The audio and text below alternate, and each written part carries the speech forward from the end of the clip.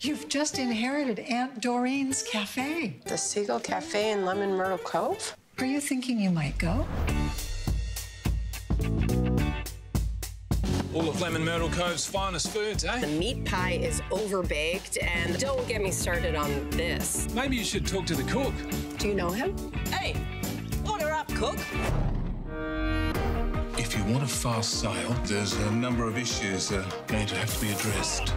Could you fix the seagull? You don't have to sell. Are you free later? Tell him how you feel. What if he doesn't feel the same way? I made something for you. Still remember us, Bo.